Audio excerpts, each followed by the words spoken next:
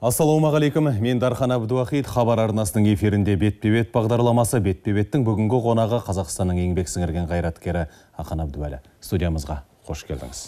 Өзіңіз білесіз ә, мәдени мұра бағдарламасы бойынша бұрнағы жылдары біраз жұмыс атқарылды. Ендігі міндет ұлттық мәдениетті әлемге таныту.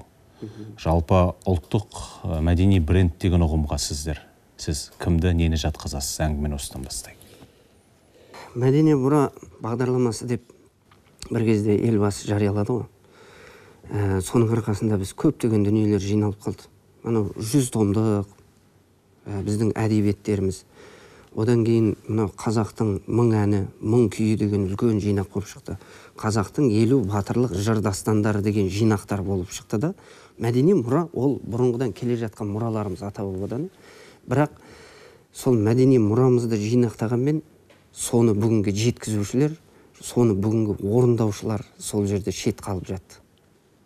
Ә, енді содан бері біраз уақыт өткеннен кейін кеше елбасының рухани жаңғыру деген мақаласы жарық ете қалды. Бәріміз қалбағымызды аспанға атып біз қатты қуандық. Себебі көптен бері іздеп те сұрап та осы ә, көңіліміздің алаңдап жүрген мәселелер. Сол жерде біздің барлық ұлттық құндылықтарымыз біздің ертеден келе жатқан ә, бойымызда жүрген қасиеттеріміз салт дәстүріміз оның ішінде ә, барлық біздің ә, киелі қасиетті қастерлі тұтатын дүниелеріміздің барлығы осы жерде айтылды. Осыған қызмет жасаңдар деген дүние болды. Біз енді экономикамызды түзедік. Міне астанада экспо өтіп жатыр ғой. Бұл бүкіл әлем назарында көзінде тұрған қазір бір үлкен ә, бізге бір абыройлы. Оның өзін сол ә, үлкен еңбекпен келген дүние. Экономикамызға жұмыс істедік құдайға шүкір.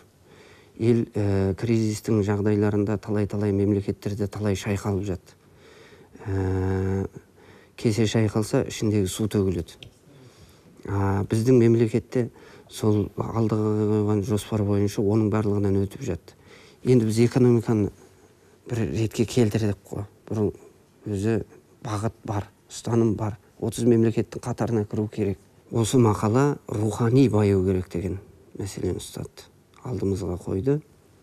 Қазір сол бойынша барлық жұмыстар жер жерде ә, республика бойынша жұмыс басталып кетті. Жұмыстар жүргізіліп жатыр. Енді біз ә, ұлттық брендтерді осы жерде тауып алу керек болды да. Біздің ұлттық Мәдени. брендтер мәдени брендтерімізді мәдени. Бұл міндетті түрде. Бұның басында о ертеден келе жатқан жыраулар. Жырауларды ә, брендке айландыру керек. Себебі францияда кезінде трубадурлар болды ғой. Осыдан 200 жыл бұрын олар болған. Қазір біздің мынау жырауларды термешілерді жыршыларды көреді да біздің трубадурлар осындай болу керек болған ба дейді. Осындай шығар деп елестетеді бірақ нақты айта алмайды қандай болған а бізде қолда тұр ғой. Осыны заманауи үлгісін тауып осыны бір ретке айналуымыз керек. Біздің дәстүрлі әндеріміз күйлеріміз ә, бұл ауыз екі дүние жеткен бізге дүние. Өнеріміз. Себебі ә, құрманғазы жамбылдардың кезінде кешегі ақан сері біржан салдардың кезінде нота деген болған жоқ бізде. Бұл ауыз екі әкеден балаға баладан немереге мұра болып келген дүние. Қай мемлекетке барсаң да бұл біздің ұлттық классикамыз. Енді осыларды брендке айландыру керек. Біздің қаншама насихаттау дегенде сіздің көз алдыңызға не келеді? Қандай мәселелерді айтып отырсыз? Ә, бізде насихатталмай жатқан жоқ. Бар насихатталып жатыр. Ол біздің өзіміздің мемлекеттің ішінде әндеріміз телеарналардан радиолардан беріліп жатыр. Техникалық жаһандану заманы иә? күнде ауысып жатыр. Өмір күнде ауысып жатыр. Бүгін ақ болса ертең көк деген сияқты. Күнде өзгерістер. Сол өзгеріске қарай бізде осыны жоғалтып алмай мәдениетімізді сол өзгерістердің көшіне ілесе отырып насихаттасақ жақсы болар еді. Оны енді әртүрлі қыры бар ә, әртүрлі бағыт бағдары бар сол бойынша. Біз ойлаймыз біздің әнімізді ол жыр термемізді күйімізді кім тыңдайды осы? Шетел оны түсінбейді оны қазіргі жастар түсінбейді. Ә, қазіргі жастар эстрадаға кетіп қалған оның өзінің белгілі бір тыңдаушысы бар. Деген ойлар бар. Оны күнде алдымыздан шығады. Жоқ. Егер де м, біз соған да тікелей жұмыс істеп кетсек ол барлығы түсінікті болады. Ол бастан өткен жағдай. Мен жұбан мектебінде директор болдым. Бес жылдай уақытта. Сонда ә, мектепте қоңырау бар ғой. Сол қоңырауды алып тастап соның орнына күйлер беріп отырдық. Сабақ басталғанда сабақ біткенде күйлер қоңырау. Бір күн ә, мысалы көкіл болса қазанғаптың екінші күні сарыарқа үшінші күні тілендиевтің аққуы. Сол сияқты бөліп бөліп қойғанбыз. Бір күн кешке дейін сол ә, бір күй ойнайды екінші күні тағы бір күй ойнайды.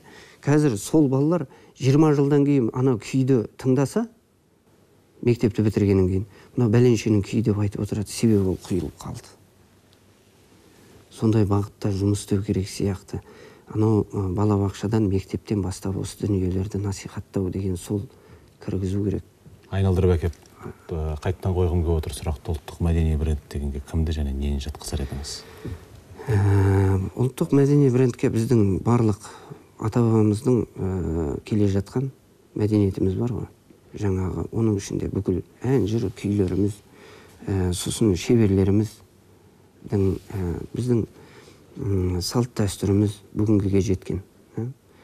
Ә, соларды жатқызуымыз керек себебі ұлтты өзінің тілімен болмысыменен түр тұлғасыменен қасиетіменен діңін барлығын жаратып қойды соны жоғалтып алмай соны брендке айналдыруымыз керек оның ішінде тек біздің күнделікті пайдаланып жүрген емес соның ішінде қаншама біздің жерлеріміз бар қасиетті. Мысалы қожа ахмет яссауи таңбалы тас ә, деген сияқты да.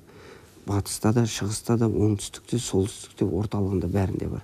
Осылардың барлығын ә, бренд жасау керек. Себебі шетелге барсаң арнайы өзінің былай қарап отырып барып қарасаң біздің қожа ахмет яссауидің кесенесінен ешқандай артық емес. Бірақ бүкіл әлем соны біледі де таңқалады мысалы египетке пирамида ада ғажайып нәрсе ғой. Ғажайып нәрсе. Ә, біздің ә, қожа ахмет яссауидің кесенесі. Ғажап нәрсе. Қаншама жылдар бойы сондай сондай ә, дүниелерді насихаттап бүкіл әлемге танытуымыз керек. Әлем елдері жалпы өзінің мәдени құндылықтарын қалай насихаттап жатыр? Хабарыңыз бар ма? Хабарымыз бар бірақ ә, біздікі де әлемде насихатталып жатыр. Олардың жасаған біздікі де жасалып жатыр.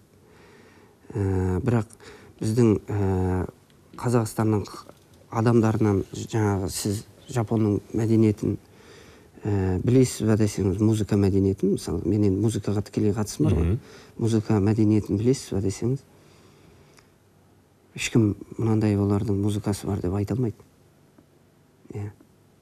Сол сияқты да. Ә, біздің де барып музыкамызды білесің ба деп шетелден біреуден сұрасаң олар айта алмайды мынау қазақстанды. Қазақстанның өзін жаңа жаңа танып жатыр ғой. Ә, бірақ 2001 жылы біз францияда болдық. Қазір әмірені бүкіл әлем біледі. Экспоның арқасында. Білесіз ба экспо ә, 25 жылы болды ғой парижде сол кезде әміре барып ән салды. Міне насихат деген сол. Ұлттық бренд деген сол. Иә? Қазір бүкіл экспо арқылы біздің қазақстанда өтіп жатқан экспо 2017-нің арқасында әмірені бүкіл әлем білді. Себебі бүкіл жарнама әміреден басталды. Бәрі сұрайды бұл кім? Бұл әміре. Бұл 25 жылы салған әні. Дударай болмаса бұл қара кесек болмаса жаңағы ә, сол кездегі айтылған әндер. Енді сол парижге барған кезде бізде 45 минут ән салу керек болды. Мен ойладым мені кім түсінеді бұл жерде? Сөйтсе? Мені кім түсінеді? Менің қасымда талғат мұқыш деген азамат бар екеуміз бірге бардық. Ол сыбызғыда ойнайды. Ол айтады мені кім түсінеді дейді мына сыбызғымды бір қурай. Жаңағы басқа мемлекеттің адамдары келіп жатыр олар фольклорлық ансамбльменен өзі ә, кәдімгі он бір он екіден адамдар жиналған фольклорлық ансамбльдер келіп өнер көрсетіп жатыр. Ә, кәдімгі қырық бес минут бөлінген уақыттарын өздері алып сол бойынша өнерін көрсетіп жатыр да. А біздікі екеуміз жеке жеке шығамыз да әндерімізді айтамыз. Бізді кім керек қылады? Ана жерде екі мың адам отыр. Сондай бір ә, бізге де сол қалыптасып қалғанда бізді шетел түсінбейді тілімізді түсінбейді ол біздің. Біздің музыкамызды түсінбейді бізді кім қабылдайды деген. Бізде де ой қалыптасқан да сол екеумізде де. Сосын ә, шығып мен жыр айттым бірінші терме. Ә, алатаудан арқадан ақындарым келіпсің деп басталатын жамбылдың үлкен толғауын айттым. Ел деген дүр қол соқты. Ол сөзін түсініп отқан жоқ олар. Бірақ жаңағы менің орындаулығыма содан кейін екінші көкшолақты айттым. Көкшолақты айтқан кезде сұмдық масқара ана жерде ел жұрт орнынан тұрып кетті. Бір ә, екеуміз 45 минут берілген уақытты бір жарым сағатта әрең бітірдік. Жібермейді. Франциядағы анау екі мың халық қайта қайта орнынан тұрып. Бір көкшолақтың үш- бір көкшолақты сол жерде үш рет айтқызды маған олардың ойында қалғаны жаңа үйге үйге үйге деп басталады ғой. Соны айтқан сол елде естерінде қалып қалған бәрі ортасында тұрып үйге деп бәрі айғайлайды. Соны мен қайта қайта айтамын біз сол бізді ешкім түсінбейді біздің музыкамызды ешкім қабылдамайды деген нәрсені қоюымыз керек. Біз қазір шетелге апарып классикамен таңғалдыра алмаймыз ешкімді. Біз өзіміздің өнерімізді дәстүрімізді ән күйімізді апарсақ бізді шетел қазақстан келді деп қабылдайды. Біз осы мәселені ойымыздан шығармауымыз керек. Ұлттық өнердің құдіреті неде болып тұр сонда? Ешкімге ұқсамайтындығынан. Ешкімге ұқсамайды ешкімге ұқсамайтындығынан. Себебі суырып салма айтысты өнері бар. Ол қырғызда да бар өзбекте де бар. Ә, жаңағы чистушкаларын айтады ол орыстарда да бар украинада да бар. Бәрінде бар иә суырып салмалық жаңағы айта береді бірақ қазақтың айтыс өнері мысалы бір ғана айтыс өнері. Сөздің мәйегінде ойдың дәйегінде. Көркемдігінде бұның әдебилік жаңағы суретінде. Оны барлығы олай айта алмайды. Одан кейін қазақтың жаңағы кең дауыс өзі табиғаттың берген дүниесі. Құдай өзі беріп қойған. Соны біз көрсетуіміз керек те ол құдіреттілігі сода ол ешкімге ұқсамайтындығында ә, бір ғана мысал. Астана күні өтіп жатыр хан шатырдың алдында концерт қойып жатырмыз. Сол жерде пласида доминго деген кісі келді. Келіп концерт өтіп жатыр келіп отырды. Ол өтіп бара жатыр екен. Ол біздің концертке тоқтау міндет емес оның. Иә. барып ана жерде тамақ ішу керек. Сол ы, түс мезгілі сол асқа шақырған сол жерге кетіп бара жатыр. Келген қонақты енді қазақтың бұл да бір үлкен қасиеті. Келген қонақты құшақ жайып қарсы алу. Біздікінде ешкімде дастархан жоқ. Соны жаңа өтіп бара жатып біздің концертімізге қызығып кеткен келіп ә, ерлан рысқали ән айтып жатыр. Сонда ерлан рысқали ән айтып жатқанда анау ауыз ашылып тоқтап қалды. Бір кезде алмас алматов шығып ән өлең айтты бір кезде амандық көмеков шығып өлең. 45 минут анау кетпей ана жерде таңғалып қарап отыр. Бір кезде келіп айтады сіздер мына кісілердің барлығы қандай консерваторияны бітірген? дейді. Мен күлдім да айттым қасында тілмаш бар. Бұның барлығы дала консерваториясының оның ешқайсысына кәдімгі дауыс қойып күнде сабақ алмағандар олар. Олар солай жаратылғандар.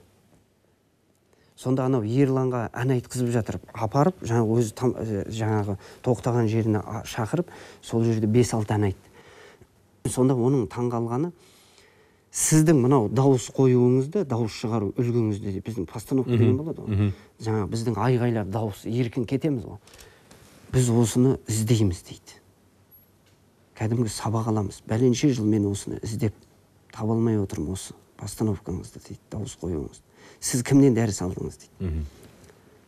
Ерлан айтады бұл құдайдың бергені енді дала консерваториясы біздікі. Сонда көрдіңіз ба таң қалып ә, бізге яғни кеше елбасы жаңғыруында айтты ғой рухани жаңғыру болашаққа бағдар мақаласында айтты. Ә, біз жаңағы күйатас құрманғазы жыралбы жамбыл ә, барлық ұлыларды айтып біз сонымен шектеліп қалмауымыз керек оның сыртында қаншама иә. Бірақ біз соларды алдымызға ұстауымыз керек та бүгінгі жеткен дүниесін насихаттауымыз керек ұрпаққа жеткізуіміз керек ұлт болып жаралдық па ұлттығымызды сақтап қалуымыз керек. Бірақ біз қазақ екенбіз біз анау ә, ата бабамыздан жаңа қалған дәстүр бар екен салт бар екен деп оның барлығын шектеуді алып тастап заманның көшіне қарай ығына ыңғайына қарай соны реттелуіміз керек. Мынау кез бізде ә, ыңғайына реттеу дегенде нені айтып отырсыз? Заманның талабына қарай икемделу керек. Қазір мысалы әнді қалай икемдеуге болады? Әнді енді ә, домбыраменен айтып отырмыз ғой. Бірақ ә, әртүрлі қыры бар. Бір әнді ә, бірнеше адам қосылып айтса ол да қызық көрінеді. Иә ол да. Иә фольклорлық жаңағы аспаптарға салып жатыр ол да қызық көрінеді. Ә, бірақ ә, қазір біз енді бір үлкен бір ә, жобалар қарастырылып жатыр ғой енді. Мынау европаның аспаптары мен қазақтың аспаптарын байланыстыра отырып ортасынан ә, сондай бір жақсы дүниелер шығаруға болады да. Қазір бір, енді, бір, біздерде бір жоспарлар бар енді оны ә, әлі халыққа шығармағаннан кейін оны бұл жерде құпиясын ашып келіп отқан жоқ. бірақ жұмыс істеп жатырмыз біз сол бағыттарда ә, енді біздің өзіміздің бар нәрсемізді көрсетіп насихаттамайынша біз ештеңе ұта алмаймыз. Тағы да айтқым келеді. Біз ә, мысалы шетелдерге шығып жатыр ғой қаншама дүниелеріміз иә ә, классикалық дүниелерді апарғанда жақсы тыңдаушылар бар. Карнеги холл мысалы иә олар қабылдайды көрсетеді. Бірақ біз тағы да сол ә, шетелдік композиторлардың шығармаларын көрсетеміз. Рас құрманғазының тәттімбеттің жаңағы өзіміздің композиторлардың шығармаларын абайдың әндерін иә ә, классикалық жаңағы аспаптарға симфониялық оркестрлерге камералық оркестрлерге ә, квартеттерге салып ә, орындалып жатыр орындала береді. Бірақ біздің құрманғазы оркестріне отырар сарыз оркестріне болмаса ақжелең сазгендер адырна сазген сазылар орындап оны жеткізіп жатса оларға сол таң. Қазір экспода кеше аралап жүрмін да сонда шетелдіктер келіп барлық анау шеберлердің қойған заттары бар ғой. Қаншама өрнек бар қаншама шеберлердің жасалған дүниелері бар қаншама самсап тұр анау киіз үйлердің ішінде. Киіз үйлерді келіп суретке түсіріп анау заттарды суретке түсіріп алып алып жатыр да ертең өздеріне барып соны олар бренд жасауы мүмкін. Ә? бренд жасаудың олар шеберлері менеджерлер мықты дайындалған насихаттау жұмысын олар жақсы біледі. Біздің елбасы қаншама жастарымызды оқуға жіберіп жатыр ғой соны үйренсін. Сол шетелден сол насихаттаудың мәселесін үйренсін менеджерлер дайындауға. Олар суретке түсіріп алып кетті. Қазір мен сол жерге барғанда ой келді да осыны мына кісілер суретке түсіріп алып кетіп жатыр. Қаншама шетелдіктер жүр анда. Ертең барып олар өздеріне пайдаланып мысалы қымызды қазір германияда жасап жатыр иә. Білесіздер. Ә, өзгенде израильден жаңағы ә, интернетте жүр. М, киіз үйді апарып тігіп сол жерде үлкен жаңағы өздерінің тіршіліктерін жасап жатыр. Мен баяғыда осы қазақстанда тұрғам киіз үйін білем киіз үйді көргем сондықтан осыны алып келіп осында құрып қойдық дейді. Израильде киіз үйді таң тамаша болып елдің бәрі көріп жатыр. Қазір бізде қазақстанда ә, дәстүрлі әнді насихаттайтын сайт бар ма? Жоқ. Студиялар бар ма? Таза осы дәстүрлі музыкамен айналысып. Ә, бір кезде осы ә, басталды осы әңгіме. Мына қазір алматы қаласында ә, дәстүрлі өнер театры ашылды ғой. Ә, негізі дәстүрлі өнер орталығы болу керек еді. Сол дәстүрлі өнер орталығы ә, осы насихаттың бәрімен айналысу керек еді. Бір кезде осы сайтты ашамыз деп мына еркін шұқмановтар ерлан төлеутайлар бар. Ә, дәстүрлі өнердің маңайында жүрген азаматтар ғой мұрат абуғазы деген сияқты күйшілер да ә, солардың бәрі жиналып осындай бір сайт жасайық. Бұл сайттың мақсаты не? Сайт ә, қазір қазақстанның қай шетінде жүрсеңіз де сол сайтты басса біздің әншілеріміз күйшілеріміз бүкіл оркестрларымыз ұлттық мәдениетіміз өнеріміз сол сайттың ішінде бәрі бір жерде топтастырылып тұр иә? Топтастырылады. Қазақстан ұлттық өнерді мысалы мысалға баса салса бәрі сол жерде тұр. Көретін адамдар сол жерден көреді керектілерін өздері сол жерден табады шақыратындар сол жерден шақырып алатын еді. Егер де осындай бір үлкен сайт ашылса бізге нұр үстіне нұр. Бұл қазір жоқ. Әрқайсысы жеке жеке жаңағы болып тұр. Кеше елбасы тағы да айтып жатыр ғой біз баяғы дүниені қоюымыз керек. Жек жек болғанымызды қою бірлікте болу керек ынтымақта берілу керек деп қаншама рет қақсап жатырмыз. Айтылып жатқан дүние ғой. Сондықтан ә, бізде дәстүрлі өнерде мектеп дегендер бар.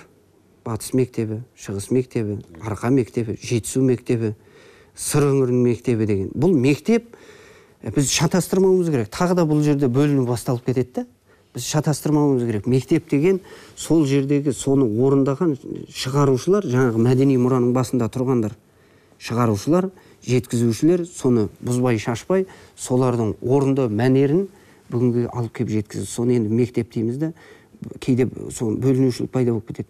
Анау ә, батыстың мектебі мынау шығыстың мектебі деген сияқты. Жоқ қазақтың ән өнері біреу ақ қазақтың дәстүрлі ән өнері біреу ақ тек орындаушы. Менің өзім де орындаушымын. Менің орындау мәнерім бөлек. Мен де мектеппін қазіргі консерваторияда мынау ұлттық өнер университетінде болмаса жүргентте кафедралар бар. Ол жерде сабақ беріп жүргендердің әрқайсысы жеке жеке мектеп. Осыны кейде шатастырып аламыз да. Сол барлық мектепті бір жерге жинап насихаттайтын бір сайт керек. Ал енді жеке студия бізде жоқ. Болу керек. Сұраныс көп. Өзіміз біз өзімізді танытудың бастауы осы шаруалар бас- ғой негізі. бастысы осы шаруа сұраныс көп. Жаңағы шетелдегі кешеге келіп жатқандар айтады қазақтың дәстүрлі ә- қазақтың әндері күйлерін сатып жатқан диск сататын жерлер бар ма деп сұрайды. Біреуі жоқ ол жерде. Олар соны қарайды іздеп отыр. Жоқ. Ә, жеке әркім өзі қаражат табады шығарады. Мың екі мың ол қолы жеткендер алды кетті соныменен тоқтады бітті. Иә. Жеке сонымен айналысып отыратын адамдар болса сұраныс көп. Сіздің мысалы бір ғана менің сүйінбаймен қатағанның айтысын қанша адам сұрайды. Бірақ менде жоқ ол. Міне әңгіменің біздің бағанағы насихатымыз осыда арнайы бір студия болса арнайы сайт болып жатса арнайы жаңағы орталық болып жатса шетелменен тікелей жаңағы байланысып соны насихаттап отыратын. Насихаттың бәрі осыда түсінікті жақсы. Уақытымыз да аяқталып қалған екен. Әлі де пікірлесеміз деп ойлаймын бұл мәселе бойынша. Студиямызға келіп сұхбат бергеніңізге үлкен алғыс айтамын. Сонымен бүгінгі бетпе бет бағдарламасы тәмам. Сау болыңыздар.